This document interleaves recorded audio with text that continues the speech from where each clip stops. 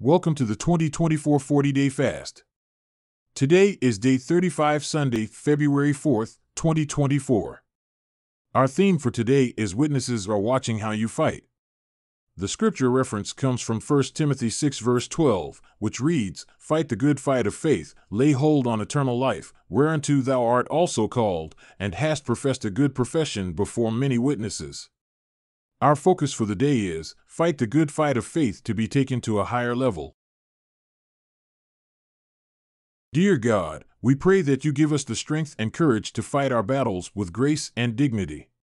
We ask that you place witnesses in our path who can see the struggles we face and the victories we achieve through your power.